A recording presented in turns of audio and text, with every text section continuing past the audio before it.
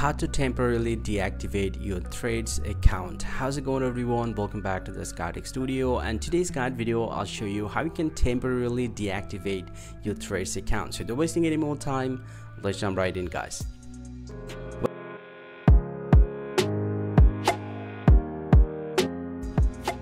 Well, so temporarily deactivating your Threads account is pretty quick and easy. Here I'm using my iPhone, but you can do the same step on your Android phone as well. Simply go ahead and open up the Threads app right on your device. And from the home page, simply go and tap on this profile button at the bottom right. Now, once you're here inside the profile, go ahead and tap on this two dot line at the top right.